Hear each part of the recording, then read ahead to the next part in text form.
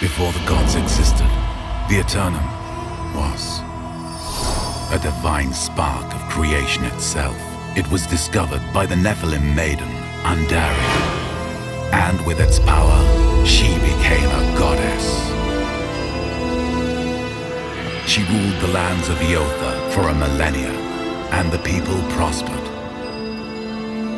No one knows from what foul corner of creation the Dark Stranger came.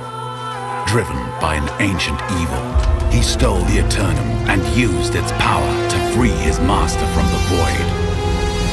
Astellot, Lord of Flame and Ruin. Together, they waged war on Eotha, and the land burned. When all hope seemed lost, the mage Elandriel forged a blade from the shards of Aristae which had the power to call forth the heroes that had wielded it across the ages. A paladin who could rain down holy fire upon his foes. A druid priestess who commanded the power of both forest and beast. A dwarven thunderlord from his halls of stone.